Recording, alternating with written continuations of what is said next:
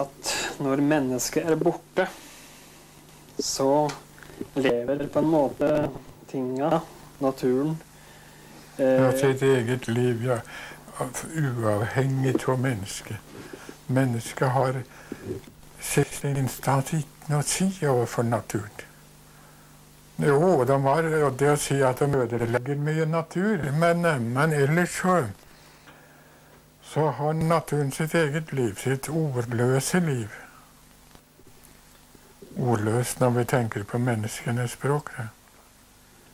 Og det betyr vel da i sin ytterste konsekvens at uh, i det mennesket uttaler seg om noe, og det gjelder f.eks. å uttale seg om naturen og verden omkring seg, så, så blir det på en måte det er noe som dekker virkeligheten.